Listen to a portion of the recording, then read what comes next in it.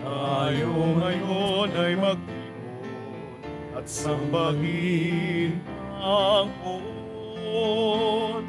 Magdiwang tayo sa ating debosyon, purihin ang Panginoon. Viva pong Jesus Nazareno, awit at papuri, alay namin sa iyo. Tingin ang dalangin at pagsamo, bayan mo. Viva poong Jesus Nazareno.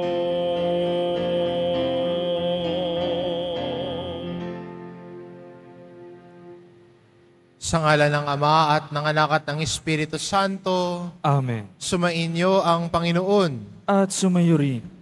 Mga kapatid, aminin po natin ang ating mga kasalanan upang marapat tayong gumanap sa banal na pagdiriwang.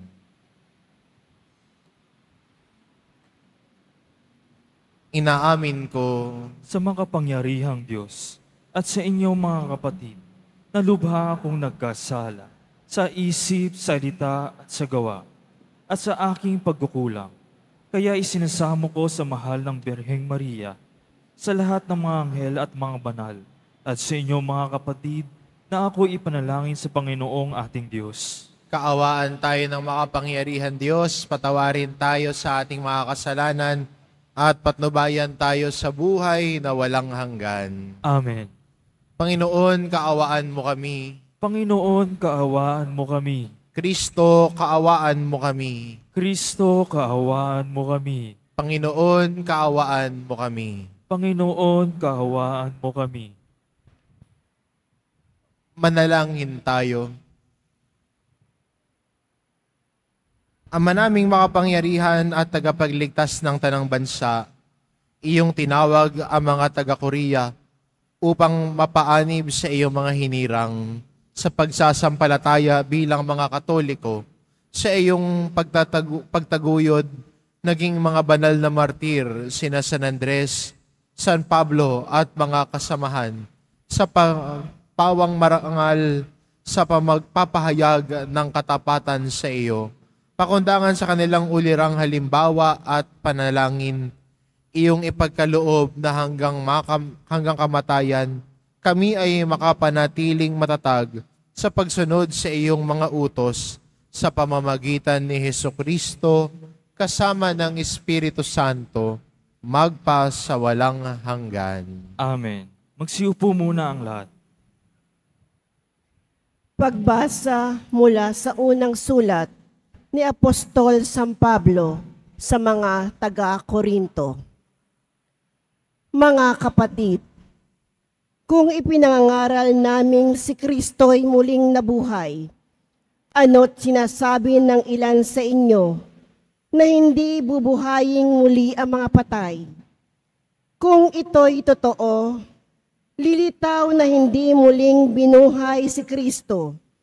At kung si Kristo'y hindi muling binuhay, walang kabuluhan ang aming pangangaral at walang katuturan ang inyong pananampalataya.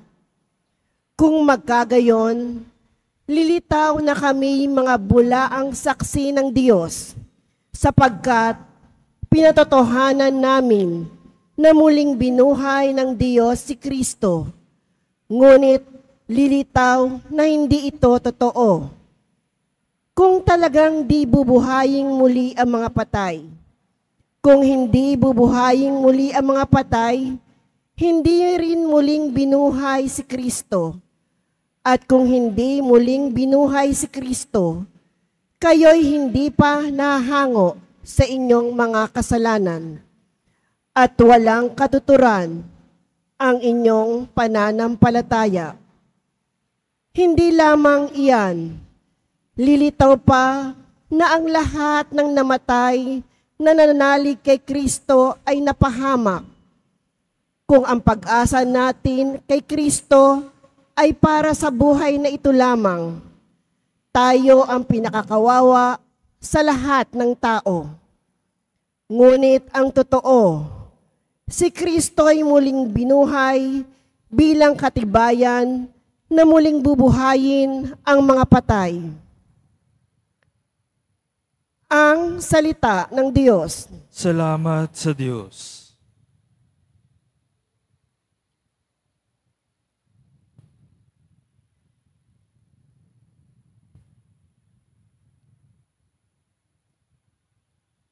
Paggising ko, poong sinta, sa piling mo'y magsasaya. Pagising ko, poong sinta, sa piling mo'y magsasaya.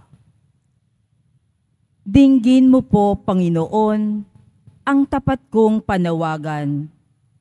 Poon, ako ay dinggin mo sa daing ko na tulungan.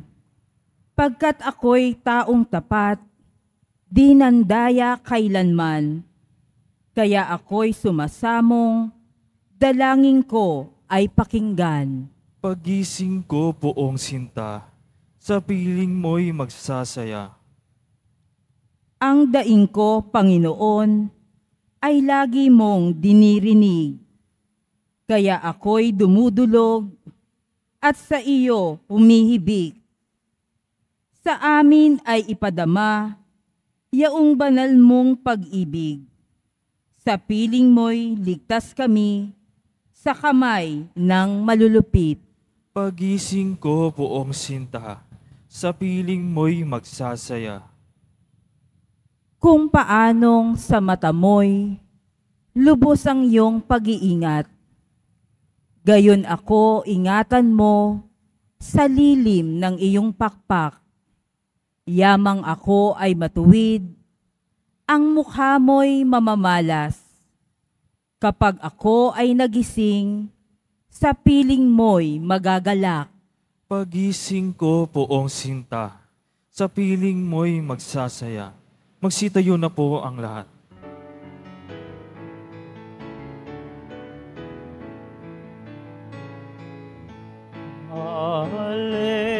Hallelujah.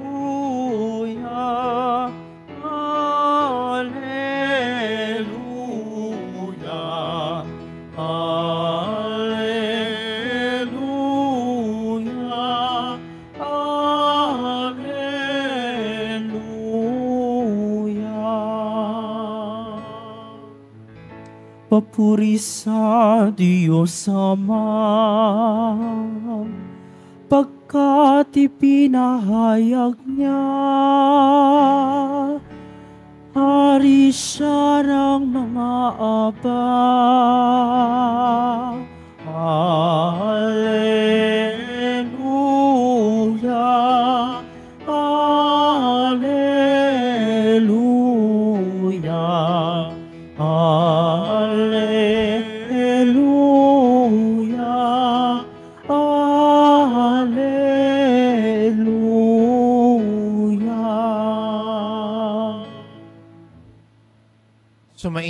ang Panginoon, At sumayo rin, ang mabuting balita ng Panginoon ayon kay San Lucas. papuri sa iyo, Panginoon. Nung panong iyon, nilibot ni Jesus ang mga bayan at nayon. Nangaral siya at nagturo ng mabuting balita tungkol sa paghahari ng Diyos. Kasama niya ang labing dalawa at ilang babaeng pinagaling niya sa masasamang espiritu at karamdaman. Si Maria na tinatawag na Magdalena. Mula sa kanya ay pitong demonyo ang pinalayas. Si Juanang asawa ni Kusa na nakatiwala ni Herodes, si Susana at marami pang iba. Ang ari-arian nila ang tinustos nila sa pangangailangan ni Jesus at ng kanyang mga alagad. Ang mabuting balita ng Panginoon. Pinupuri ka namin, Panginoong Yeso Kristo. Magsiupo muna ang lahat.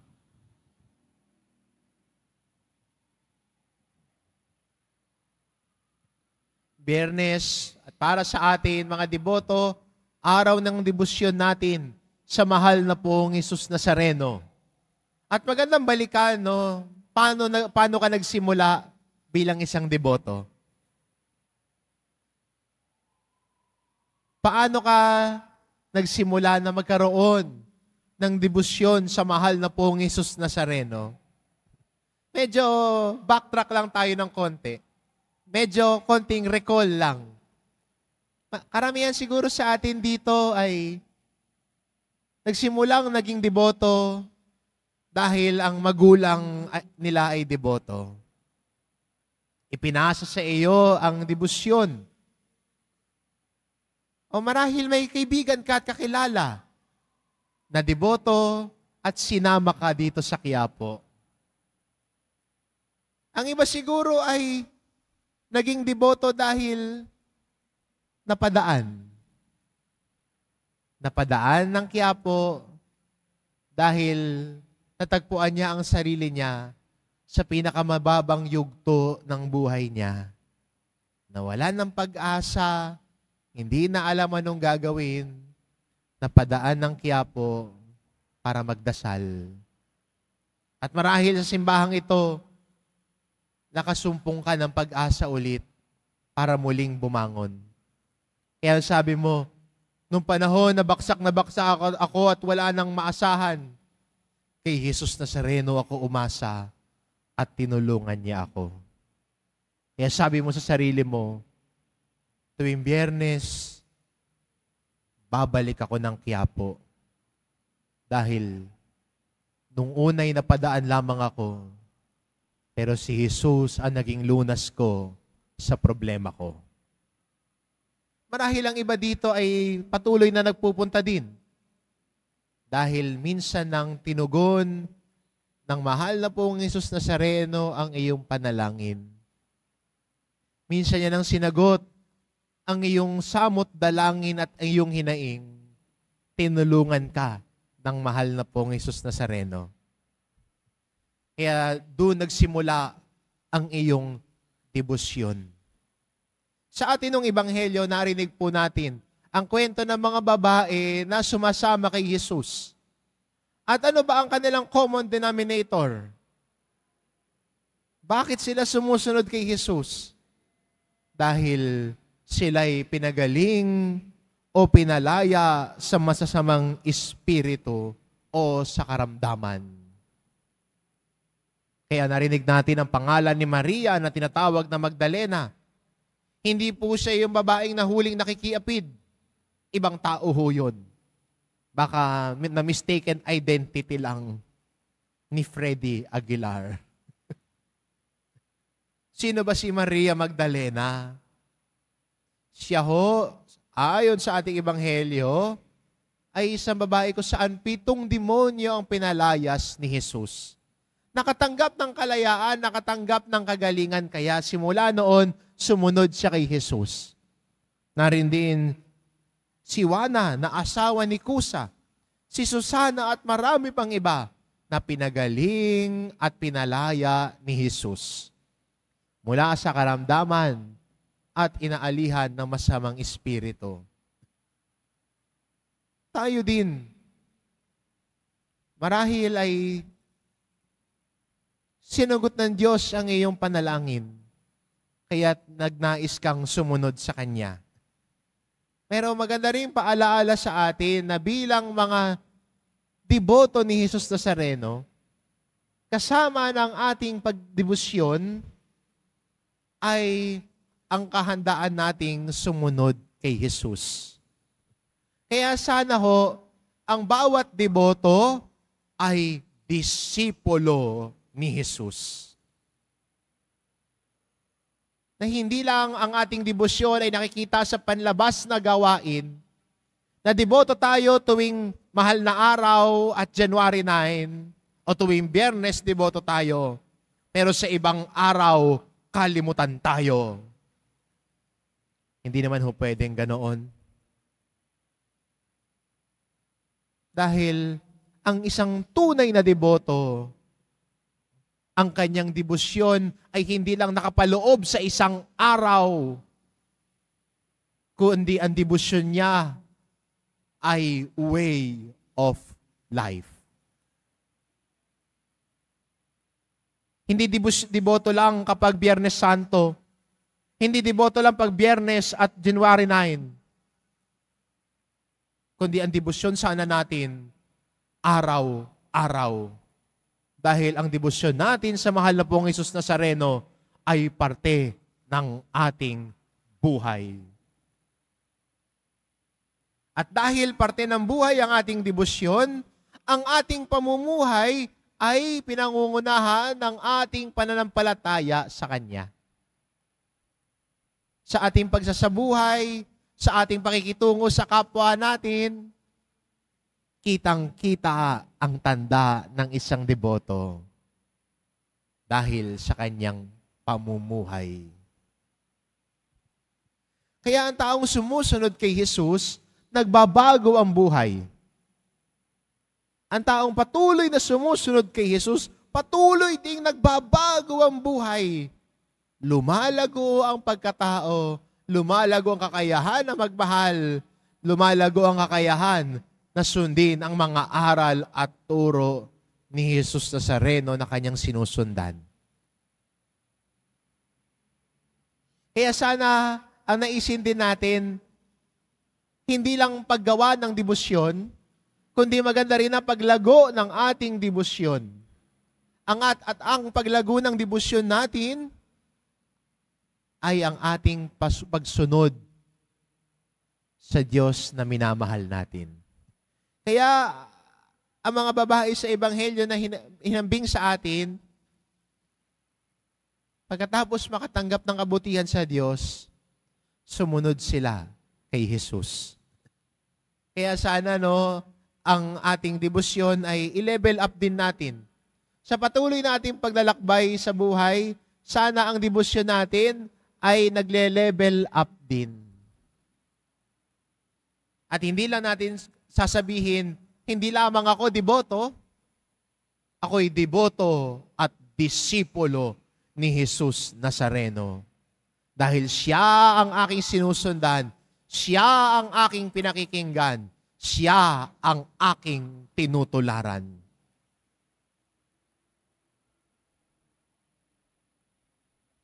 Si Jesus Nazareno ang sinusundan. Si Jesus Nazareno ang tinutularan.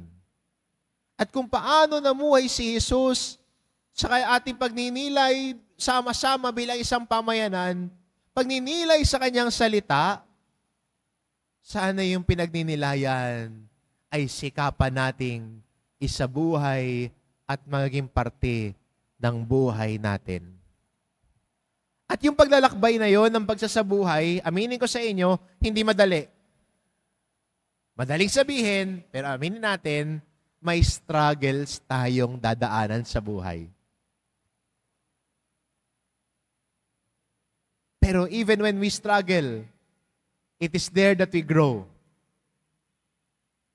Yung mga struggles na pagdadaanan natin o dinadaanan natin, it is there when we grow. Kaya di ba, minsan yung mga pagsubok natin sa buhay, yan yung nagtuturo sa atin ng mga mahalagang leksyon sa buhay natin. Naalala ko ho, may lumapit sa akin. Sabi niya, Father, bakit ho ganoon? Nagkamali ho ba ako ng desisyon? At tinanong ko, bakit naman? Ba't mo nasabi yan at ba't mo natanong? Ano ba ang hugot mo? At ang sabi niya sa akin, kasi Father, akala ko, pag sumunod ako kay Jesus, gagaan ang buhay ko.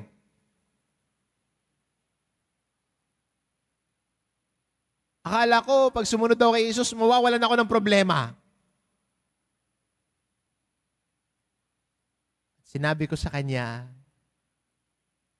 Teka, mukhang nagkamali ka yata ng pagkaintindi. Hindi pinapangako ni Jesus na pag sumunod ka sa Kanya at siya ang pinili mo, mawawalan ka ng problema. Magkakaproblema ka. Pero may pangako din ng Diyos sa iyo na sa kabila ng mga problema mo, minsan uusigin ka sa iyong pananampalataya, sa iyong paninindigan sa katotohanan ng iyong pananampalataya, uusigin ka. Aawayin ka. Pero, ang pangako din ni Jesus sa iyo, sa kabila ng mga pagsubok mo sa buhay, sa kabila ng mga challenges na dadaanin mo, God promises you one thing. kung paano din natin siya sinusundan, pangako din niya sa atin, sasamahan din niya tayo sa panahon ng pagsubok natin. Sa panahon na malalakas ang alon ng buhay natin. Sa panahon na napapangunahan tayo ng takot at pangamba. Ang pangako lagi ni Jesus sa atin, I am with you always. Kaya wag matakot sumunod kay Jesus. Wag matakot na samahan siya at pasanin ang krus ng pag-aalay natin. Wag matakot na sumunod sa Diyos na nag-alay ng sarili niyang buhay para sa atin. Sundin si Jesus, tularan si Jesus. At pag itong ginagawa natin, tayo ay nagiging disipulo ni Jesus Nazareno. Siya na ating sinusundan. Siya na ating tinutularan. Siya na gabay natin sa buhay natin. At ang pangako ni Jesus Nazareno sa atin, sa kabila ng mga alon natin sa buhay, ang pangako ni Jesus Nazareno, kasama mo ako lagi.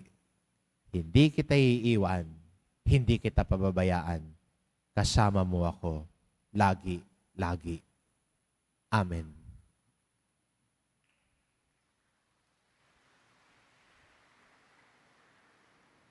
Magsitayo na po ang lahat.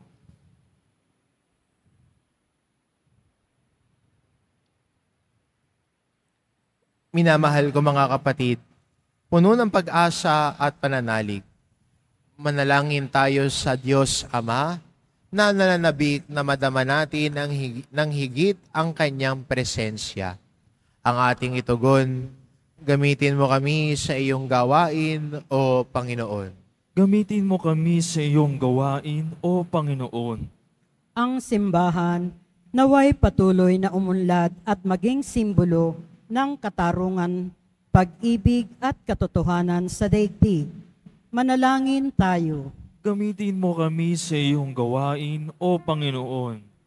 Bilang isang komunidad, naway wag nating ipagwalang bahala ang ating buhay pananampalataya, pagkos hanapin natin ang Diyos, maging sa mga paghihirap at pagsubok. Manalangin tayo. Gamitin mo kami sa iyong gawain, O Panginoon. ang mga bata naway lumaki sa pamamaraan ng biyaya at tumanda na katulad ng mga taong kawangis ni Kristo. Manalangin tayo. Gamitin mo kami sa iyong gawain, O Panginoon. Ang mga may sakit naway mapalakas sa pananampalataya sa pamamagitan ng kanilang pag-uugnay ng kanilang pagdurusa sa mga pagdurusa ni Kristo. Manalangin tayo. Gamitin mo kami sa iyong gawain, O Panginoon. ang ating mga mahal na yumao naway magtamasa ng bunga ng kapayapaan, kaligayahan at kasiyahan sa kaharian ng Diyos. Manalangin tayo. Gamitin mo kami sa iyong gawain, O Panginoon. Diyos Ama sa langit, tulungan mo kaming maunawaan ang kahalagahan ng panahon ng aming pag-iral.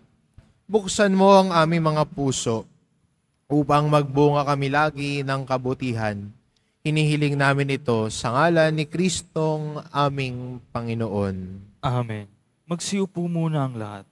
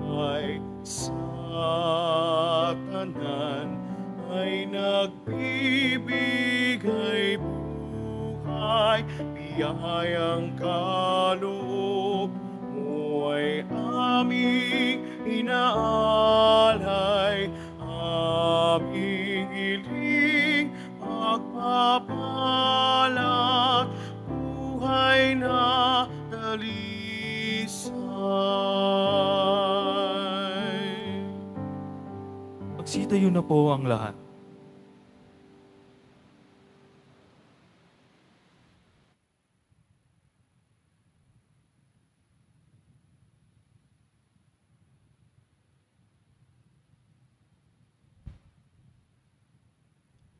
Manalangin kayo mga kapatid upang ang paghahain natin ay kalugdan ng Diyos amang makapangyarihan. Tanggapin nawa ng Panginoong itong paghahain sa inyong mga kamay, sa kapurihan niya at karangalan, sa ating kapakinabangan at sa buong sambayan niyang banal. Ama naming lumika, iyong paunlakan tanggapin ang mga alay ng iyong bayang ginigiliw. At iyong pagindapating kami ay iyong kalugdan bilang haing kapakinabang sa ikabubuti ng sanlibutan. Pakundangan sa pananalangin ng mga martir sa pamamagitan ni Heso Kristo kasama ng Espiritu Santo magpa sa walang hanggan. Amen. Sumainyo ang Panginoon. At sumayo rin, Itaas sa Diyos ang inyong puso at diwa. itinaasa namin sa Panginoon. Pasalamatan natin ang Panginoong ating Diyos. Marapat na siya ay pasalamatan. Ama naming makapangyarihan, tunay ngang marapat na ikaw ay aming pasalamatan ngayong aming kagalakan na sina San Andres, San Pablo at mga kasamahan ay parangalan. Sila'y kapanalig naming may paninindigan na ikaw ay ipahayag kahit sila'y mamatay sapagkat minarapat mong kanilang matularan ang iyong anak na naghain ng sariling buhay. Tulad ng naganap sa iyong anak, ang dugo ng mga martiray dumanak, hindi dahil sa katatagang likas, kundi dahil sa bigay na lakas. Kaya kaisa ng mga anghel na nagsisiawit ng papuri sa iyo, nang walang humpay sa kalangitan, kami nagbubunyi sa iyong kadakilaan.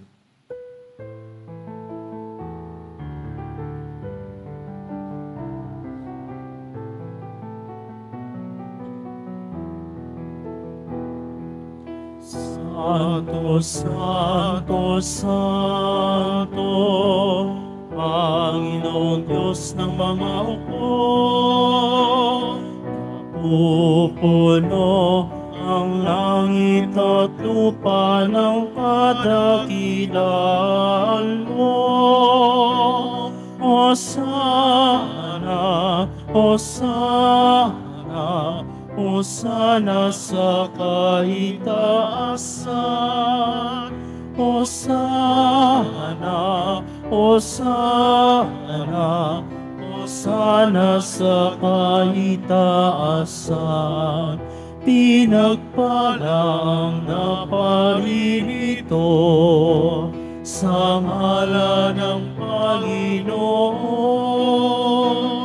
Hosana, Hosana, Hosana sa kaitaasan. Hosana, Hosana, Hosana sa kaitaasan. Magsilud po ang lahat. Ama naming banal, ikaw ang bukal ng tanang kabanalan, kaya't sa pamamagitan ng iyong Espiritu gawin mong banal ang kaloob na ito, upang para sa amin maging katawan at dugo ng aming Panginoong Heso Kristo. Bago niya pinagtiis ang kusang loob na maging handog, hinawakan niya ang tinapay, pinasalamatan kanya. Hinagati-hati niya iyon, iniabot sa kanyang mga alagad at sinabi, Tanggapin ninyong lahat ito at kanin, ito ang aking katawan, na iyahandog para sa inyo.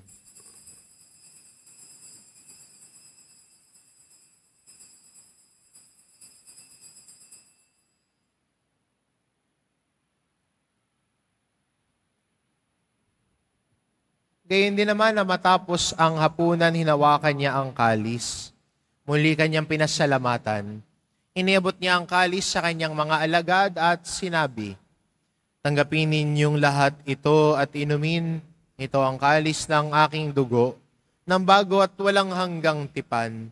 Ang aking dugo na ibubuhos para sa inyo at para sa lahat, sa ikapagpapatawad ng mga kasalanan. Gawin ninyo ito sa pag-alala sa akin.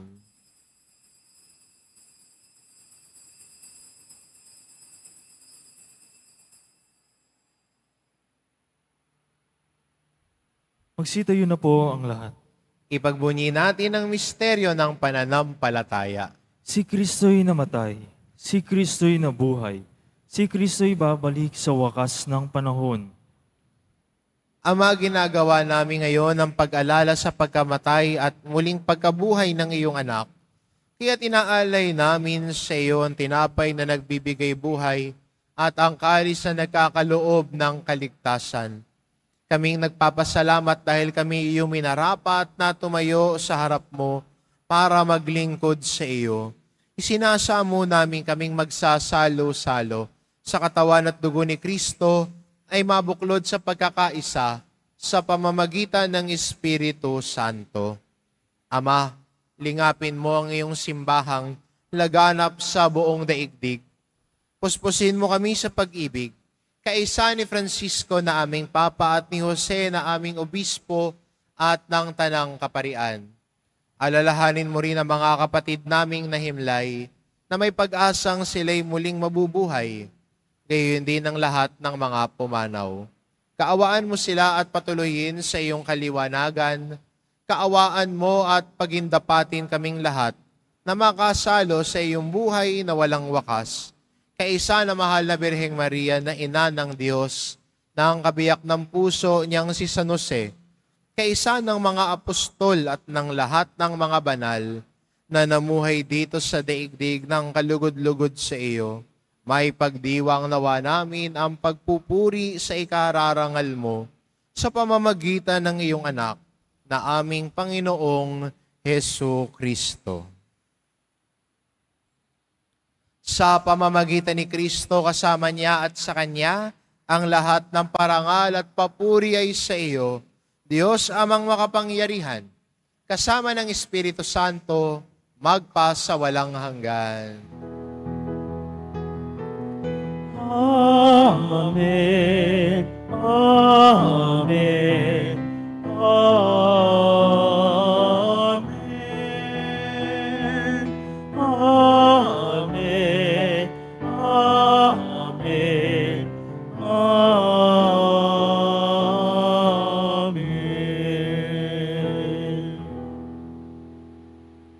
sa tagubilin ng mga nakagagaling na utos at turo ni Jesus na Panginoon natin at Diyos, ipahayag po natin ng lakas loob. Ama namin, sumasalangit ka. Sambahin ang ngalan mo. Mapasa amin ang kaharian mo. Sundin ang loob mo dito sa lupa para ng sa langit. Bigyan mo po kami ngayon ng aming kakanin sa araw-araw at patawarin mo kami sa aming mga sala para ng pagpapatawad namin sa nagkakasala sa amin. At huwag mo kami ipahintulot sa tukso at iadya mo kami sa lahat ng masama. Hinihiling namin kami adya sa lahat ng masama pagkalooban ng kapayapaan araw-araw, iligtas sa kasalanan at ilayo sa lahat ng kapahamakan. Samantalang aming pinananabikan ang dakilang araw ng pagpapahayag ng tagapagligtas naming si Heso Kristo. sapagkat iyo ang kariyaan at ang kapangyarihan at ang kapurihan magpakailanman. Amen. Panginoong Kristo, sinabi mo sa iyong mga apostol, kapayapaan ang iniiwan ko sa inyo, ang aking kapayapaan ang ibinibigay ko sa inyo. Tungayan mo ang aming pananampalataya at huwag ang aming pagkakasala. Pagkalooban mo kami ng kapayapaan at pagkakaisa. Ayon sa iyong kalooban, kasama ng Espiritu Santo, magpasawalang hanggan. Amen. Ang kapayapaan ng Panginoon ay laging sumainyo. At sumayo rin, Magbigayan kayo ng kapayapaan sa isa't isa. Kordero ng Diyos na nag-aalis ng mga kasalanan ng sanlibutan, maawa ka sa amin. Kordero ng Diyos na nag-aalis ng mga kasalanan ng sanlibutan, maawa ka sa amin. Kordero ng Diyos na nag-aalis ng mga kasalanan ng sanlibutan, ipagkaloob mo sa amin ang kapayapaan. Magsiluhod po ang lahat.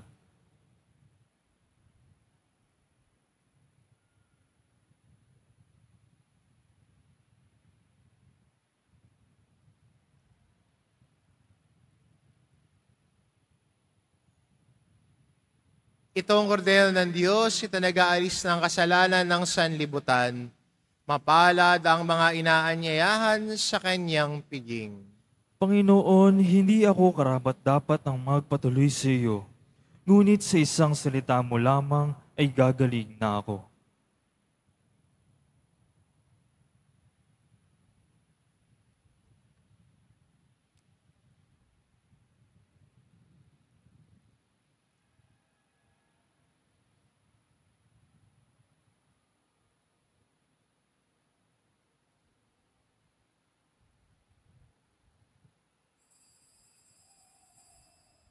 Para sa lahat ng tatanggap ng banal na komunyon, sasagot po tayo ng amin pagkasabi ng pari o ng lay minister ng katawan ni Kristo. At isubo agad sa bibig bago umalis sa harapan ng pari o lay minister. Sumunod po tayo.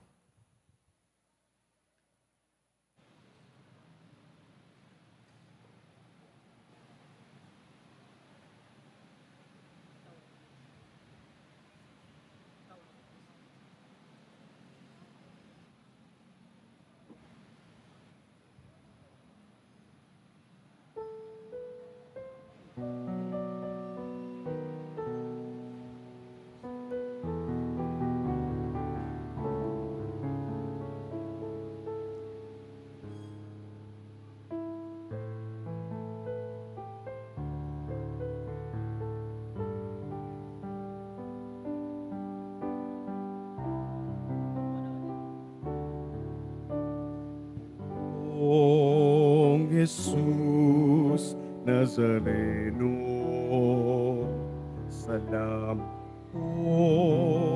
sa pag-ibig mo. Buhay mo'y inialay, sa krus ay namatay, upang kami ay mabuhay.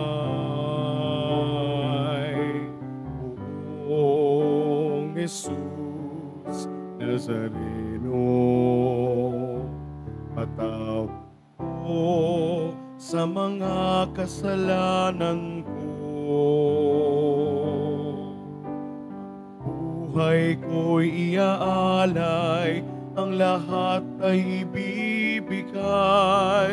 Puso ko'y sa'yo lamang habang buhay. Buong Jesus Nazareno, kay buti mo sa hirap at usa ika'y kasama ko. Ang samo ko, dasal sana'y pakinggan mo. Mapawi na mga paghihirap ko. Buong Jesus Nazareno, salamat po. Ang iyong pagmamahal ay nadarama ko. Ngayon at magpakailanman, ika'y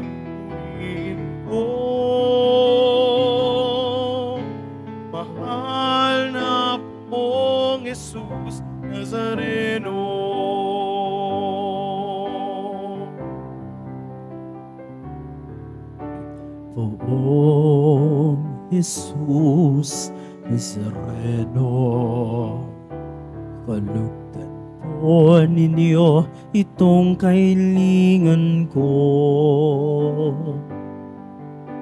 Mabuhay ng mapayapa, ilayo sa lahat ng masama, kaawaan niyo po kami umasa.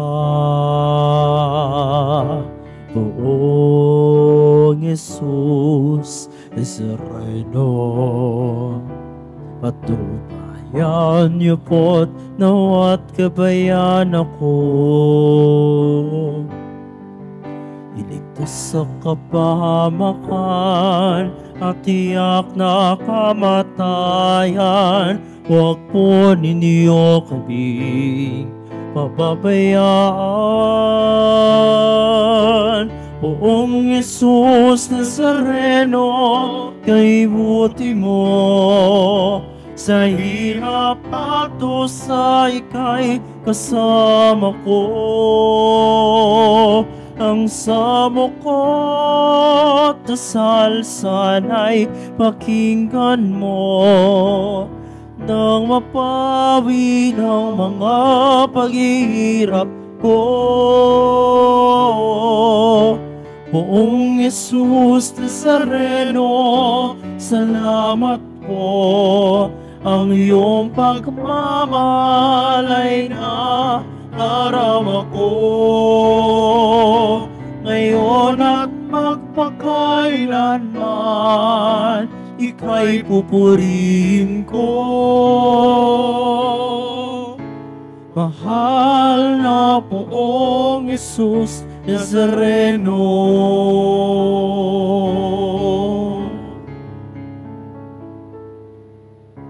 Mahal na poong Jesus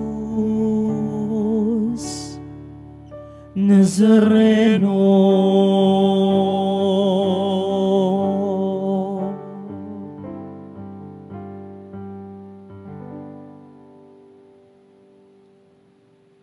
Inihahandog ng ating simbahan ang Nazareno Medallion. Mabibili po ito sa ating Parish Finance Office. Ito po ay nagkakalaga ng 25 pesos. Ang malilikom po ay gagamitin sa pagsasaayos ng electrical system ng ating simbahan.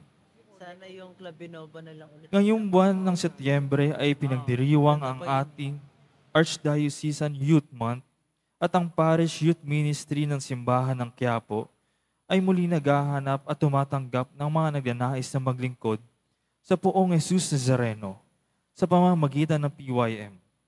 Inaanyayahan po namin ang mga kabataan na may edad 13 hanggang 24 na taong gulang na sumali sa- Parish Youth Ministry at Young Adult Ministry. Magsitayo na po ang lahat. Manalangin tayo. Ama naming mapagmahal, kami ay iyong binigyan ng lakas na dulot ng banal na salo-salo sa paggunita namin sa mga banal na martir. Hinihiling namin kami ay iyong pamalagiin sa matapat na pag pagsasampalataya sa iyong anak at sa pagmamalasakit sa kaligtasan ng lahat bilang mga kaanib ng iyong sambayanan sa pamamagitan ni Yesu Kristo kasama ng Espiritu Santo magpa sa walang hanggan. Amen. Sumainyo ang Panginoon. At sumayo rin Mahal na pong Isus Nazareno, inihayag mo sa pamamagitan ng krus ang walang maliw na pag-ibig ng Diyos sa sangkatauhan.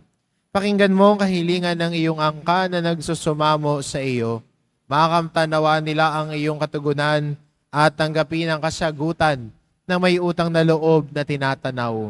Basbasan din po ninyo ang mga may daladala nilang imahin at dasalan sa pamamagitan ng bendisyon na ito, naway maalala nila ang mga pangako nila noon sa binyag, na ikaw ang kanilang iibigin at paglilingkuran. Bilang Panginoon, magpa sa walang hanggan. Amen. At pagpalain kayo ng ating mapagmahal na Diyos, ang Ama, at ang Anak, at ang Espiritu Santo. Amen. Humayo kayo, taglay ang kapayapaan ng poong Jesus Nazareno. Salamat sa Diyos.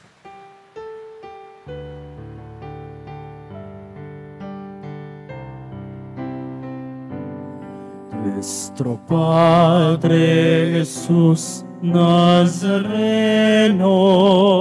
sinasamba ka namin. Pinipinto ka namin, aral mo ang aming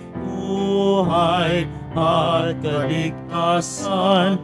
Nuestro Padre Jesus Nazareno, iligtas mo kami sa kasalanan.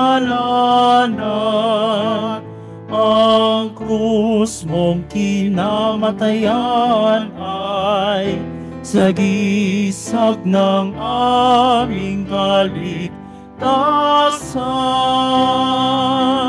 Nuestro Padre Jesus Nazareno, dinarangal ka namin. Nuestro Padre Jesus Nazareno, nilulwalhati ka namin.